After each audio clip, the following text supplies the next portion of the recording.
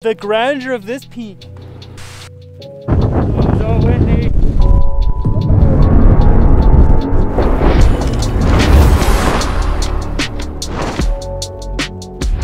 Good afternoon from windy Abraham Lake.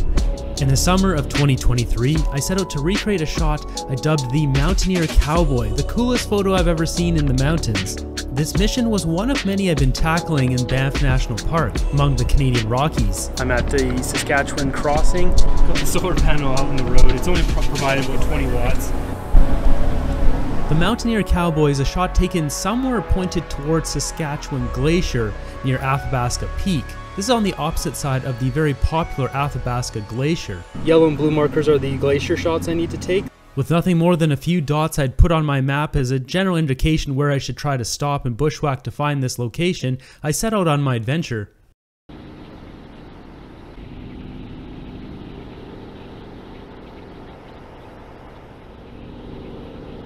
I just pulled over real quick because check this out.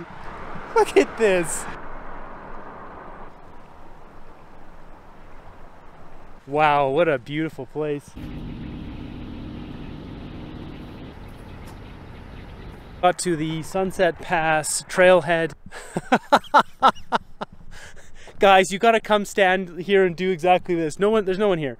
Like, th the grandeur of this peak. This is amazing. I'm, I'm happy with this.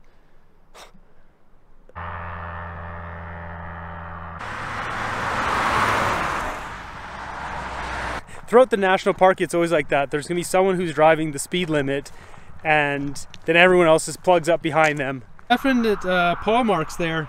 Something heavy was pushing down on there. Probably a bear. There she be, fresh glacial water.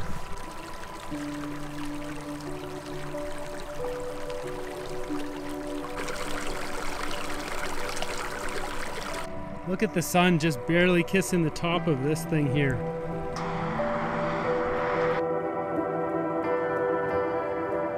It's important when I'm on these missions to stop and smell the flowers. This area is one of the most beautiful I'd ever come across in my entire life, especially right off the side of the road. I just made myself some mac and cheese with beets, green peas, onion flakes, garlic, salt, pepper, and cumin.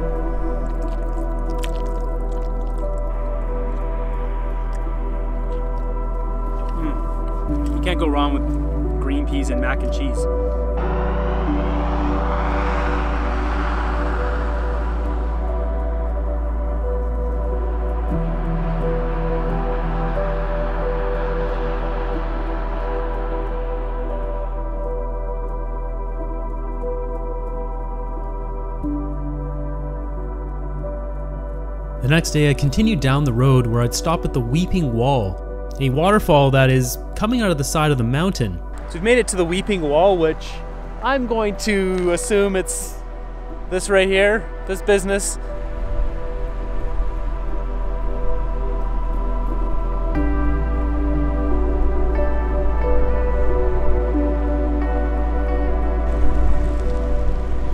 So that guy there, Larry, he's biking from Edmonton down to Canmore and Calgary and back up to Edmonton, 1,200 kilometers. This is some very fast moving water.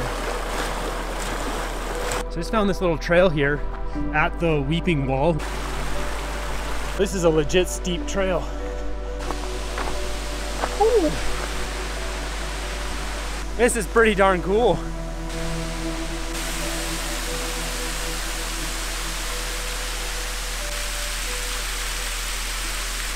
Wow. So I'm on the side of the road here of the Saskatchewan Glacier. Now I'm gonna try to recreate this shot. It's, it's one heck of an image. Now I can't figure out exactly, I put a, a rough marker.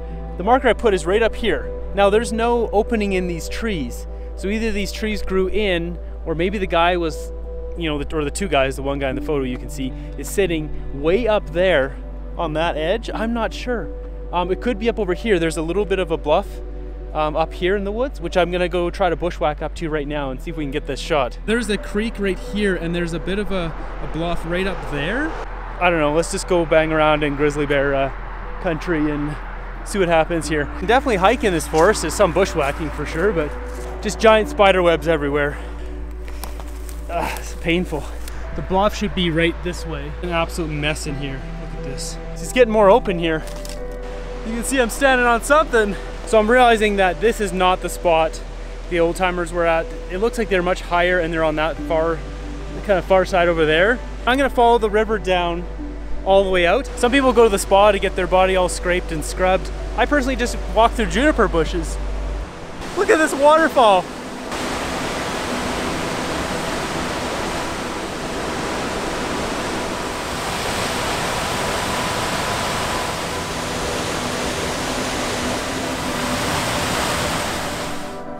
For some reason, I thought this was a man in orange standing here.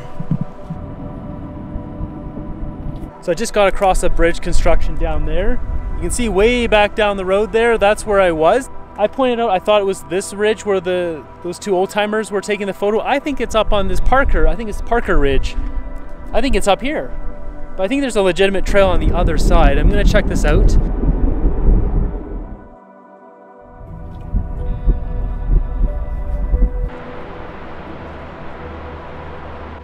On the far side of the horseshoe is a pullout to Panther Falls. Armed with my super slow motion camera and a 600mm lens, I got some fantastic shots of this waterfall in the far distance.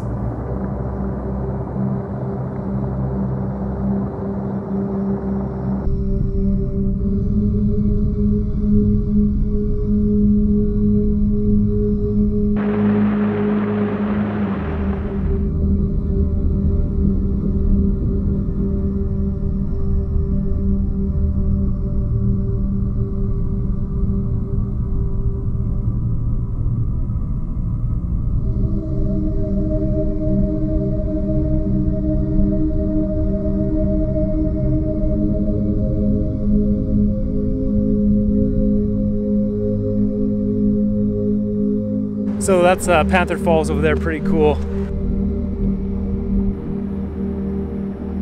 Wow. I'm at the uh, Parker Ridge here. It's pretty, uh, pretty busy place.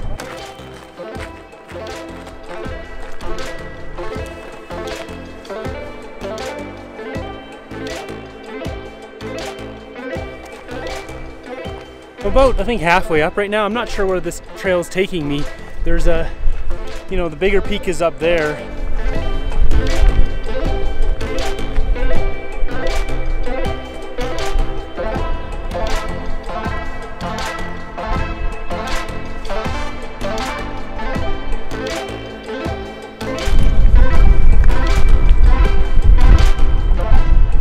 This trail, two things.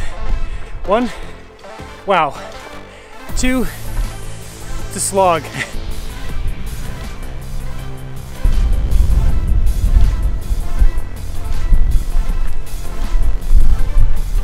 there's a bit of a fork in the road. The, uh, the summit's up there, but I'm gonna go follow these yellow triangles over here first. So apparently this trail goes out to get a good look at the uh, Saskatchewan Glacier. That's the one that the old timers were in front of. So I gotta think that they were sitting on this one. That other peak is too far to the right. After cresting the ridge, I was now on the right side to find where the Mountaineer Cowboy was positioned. We can see the glacier enough to match up the shot as best as possible, but I really want to see what this looks like without the smoke. It's only a matter of figuring out how far back he was in relation to Saskatchewan Glacier. It's so windy up here. Saskatchewan Glacier. This is unexpected. I didn't, I was just planning to go to the top of that, that peak over there. Following the yellow triangles, I didn't expect to see a cliff edge walk trail, which caught me off guard a bit.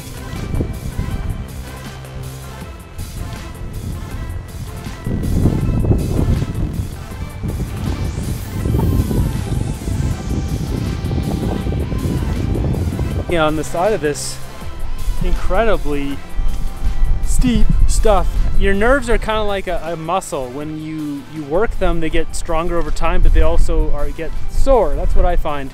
And because of all the stuff at Faro Peak, I'm looking at this little tiny skinny track and I'm just, I did half of it and came back. I was like, oh, I'm not feeling it today. I think it's just because there's like gale force winds up here. It just makes it feel so much more unstable. We're gonna go to the top of that peak right up there. That's probably where those old timey mountaineers were at. Oh, so windy.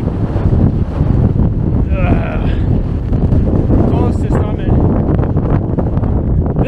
Way higher than the one over there. I don't know if any of these have names.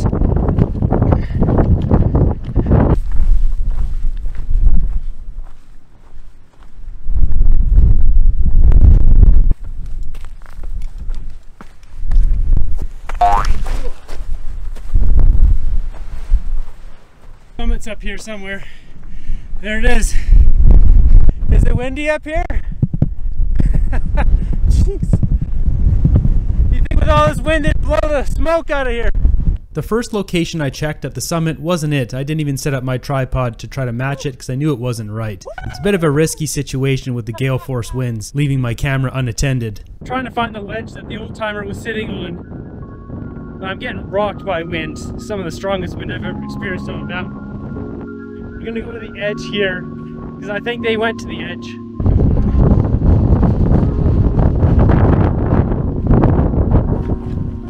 It's possible they could be at the far end. I don't know. It's hard to match this up.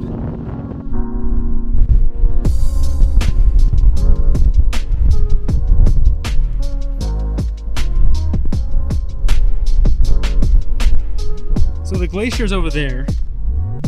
Follow the river this way. It's a little bump there. So I'm wondering if they were taking it there, but I don't see any rock that this guy would be sitting on.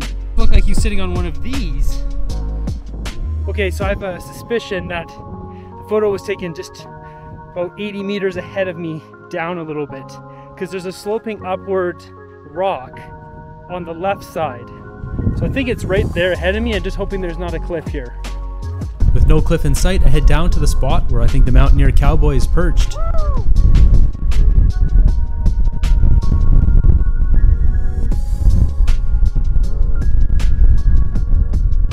Something wasn't making sense. The bends in the river and the glacier shape wasn't right. And then I realized these old timey photos are flipped horizontal. So once I flipped it, boom. And I think I'm in the right spot here. It's either this one or the one above me. The thing is, I don't know if the rock that that guy's leaning on is exists anymore. If it's, eh, you know, did it crumble and fall to the bottom. So I thought the spot was there because the image is flipped, but it's not. The mountains didn't match up. So the archive probably flipped the image, which means it's got to be over here, sloping up to that little spot there.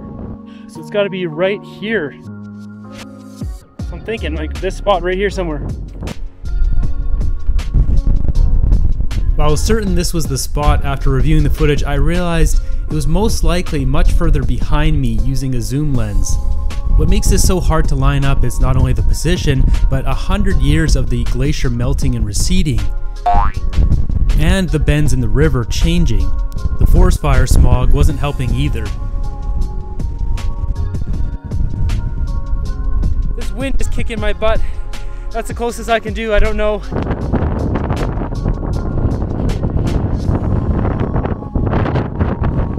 Getting rocked up here.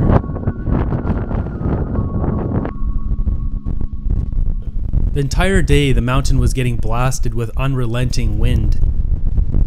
I'm feeling a little bit defeated with this one. I don't I don't think I've got it. I think I think I'm in the ballpark, but Mountaineer Cowboy might be on the other side of the river on some smaller ledge. I'm not sure. I'm calling out the hiking and mountaineering community. Let's find this exact spot. Where's the Mountaineer Cowboy sitting? It's such a great photo. It's one of my favorites. Uh, I'm calling out Foresty Forest. If anyone can find it, Foresty Forest can. Come on, Simon. I bet you can find it.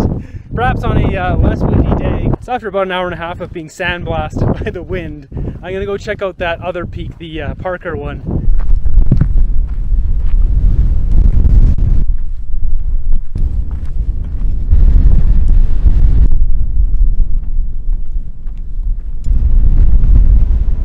Almost to the top of Parker. You can see Mountaineer Cowboy behind me there.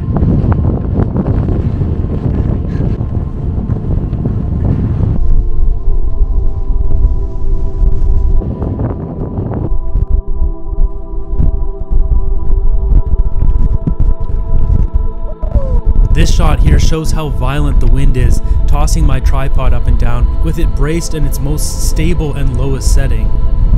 While objective wise, this was a failure, I wasn't able to recreate the Mountaineer Cowboy shot exactly. Doing a project like this, that's not really the point. The point every time is essentially just to get out into the woods and enjoy nature. And perhaps I'll come back if someone else isn't able to recreate this shot. and give another go at it across the highway on the other side of Parker Ridge to where I think the Mountaineer Cowboy was sitting. You might say it's windy up here.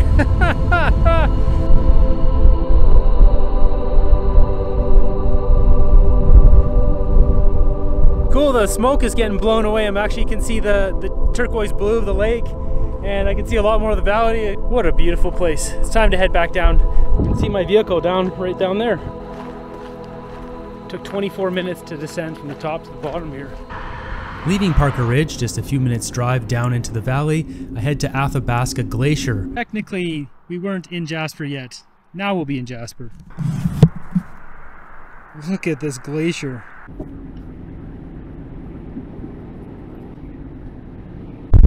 Welcome to Athabasca Glacier. this is wild. Main thing I wanted to do on this road trip is see glaciers. Yeah, th this is doing it. This is doing it.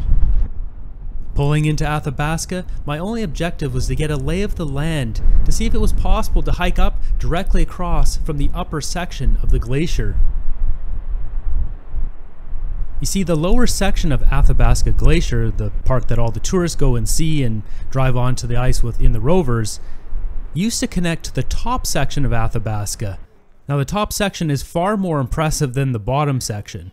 I'd use the remaining hour of light to scope out the area and look for an approach to get up the mountain.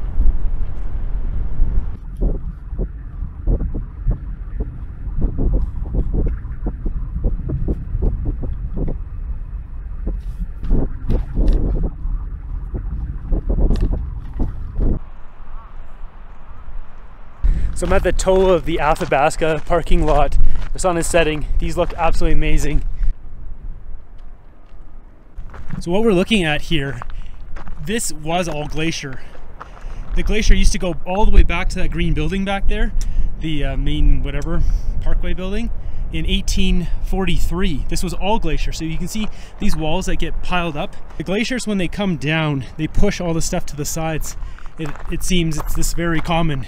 So this is likely all filled in at the top at one point with ice. As you get close to this glacier, you can feel the temperature drop drastically. So the glacier was here in 1992. Watching the sun's golden light cascade across the upper section of the Athabasca Glacier was truly remarkable. So I might come back tomorrow, check this out with the light. But my plan tomorrow, I want to go see the glacier that's up up there. And I want to see if I can just go off trail and find my way up there.